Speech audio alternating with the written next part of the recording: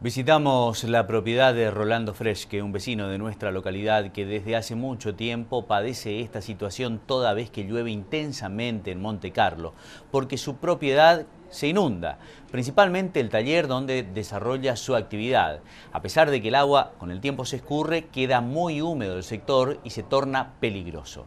Rolando Fresque nos indicó que necesita una solución.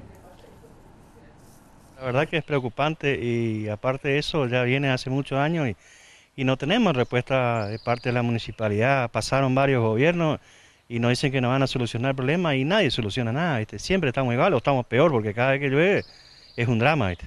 ¿En el caso de ustedes le entró agua adentro del taller? Sí, eh, la última lluvia que estos días pasados hizo desastre nuevamente. ¿viste? Aparte, por ahí es un peligro con el tema de la corriente, por ahí puede quedar pegado a alguien y, un accidente puede pasar. ¿viste? Vemos que has hecho eh, algunas modificaciones en el lugar. Hicimos con las piedras que quedaron ahí, que hicieron en la mejora en la calle, en la, en, la avenida, y trajimos con carretilla, hicimos una mejora que algo mejoró, pero eh, igual el agua pasa todo por arriba porque viene mucha agua acá.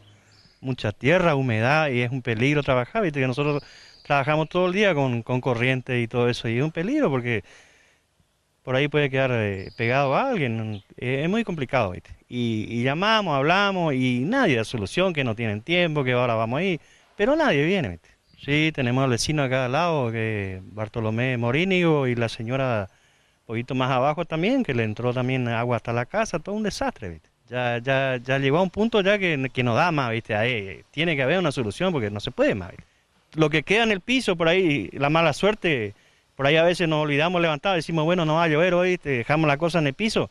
Se arruina todo. Y el barro que queda dentro del taller es un desastre, hay que limpiar, lavar, la humedad. Y, a veces queda en el piso y eso se arruina todo. Lo que por ahí levantamos se salva, ¿viste? Pero a veces queda o a veces no olvidamos, no tenemos tiempo y se nos pasa y lo que queda en el piso y llueve a la noche o algo, fin de semana, se arruina todo.